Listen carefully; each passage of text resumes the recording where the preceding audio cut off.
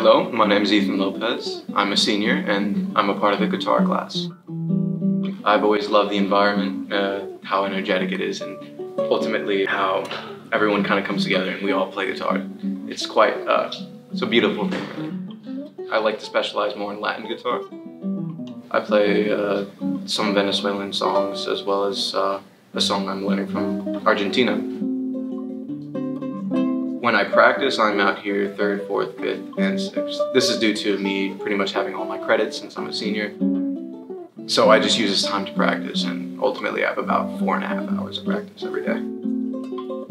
You put soul into music, that's what you really do. For me, it was exposed by shivers I had down my spine and a little flush in my face. I've, I've always kind of experienced that with certain songs I listen to. I want to do anything to replicate that. Thank you for listening, and patience is virtue.